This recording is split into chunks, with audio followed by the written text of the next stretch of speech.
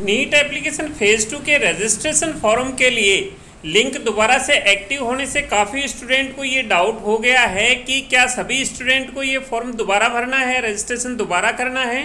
तो इस विषय पर मैंने जब एनटीए से बातचीत किया तो पता लगा कि ये सभी स्टूडेंट को फिल करने की आवश्यकता नहीं है। जिन स्टूडेंट ने फ़ेज़ टू का रजिस्ट्रेशन नहीं किया है, वो फ़ेज़ टू का रजिस्ट्रेशन कर सकते हैं और जिन स्टूडेंट ने फ़ेज़ वन और फ़ेज़ टू में करेक्शन करना है, वो कर सकते हैं इसके लिए। तो अगर आपने फ़ेज़ वन में जो ये चार कॉलम दिए गए हैं, इनमें कोई मिस्टेक की है तो उसमें आप करेक्शन कर सकते हैं दोबारा से।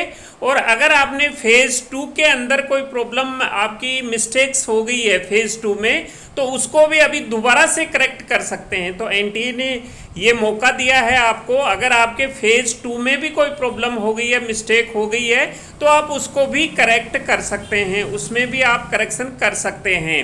तो ये बिल्कुल क्लियर हो चुका है, क्योंकि काफ़ी सारे स्टूडेंट इसी डाउट्स में थे। मेरे को फ़ोन भी किया था कमेंट्स भी किया था। तो मैंने एक बार सोचा एनटीए से इसके बारे में बातचीत कर ली जाए कि क्या सभी कैंडिडेट को ये फॉर्म दोबारा फिल करना है क्या?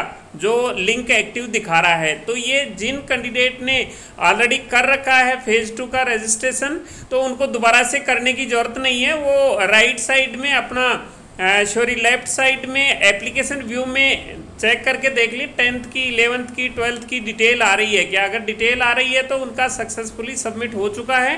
कोई प्रॉब्लम नहीं है। यानी कि इसमें फ़ेज़ वन और फ़ेज़ टू का ये करेक्शन फॉर्म है तो इसमें आप करेक्शन कर सकते हैं।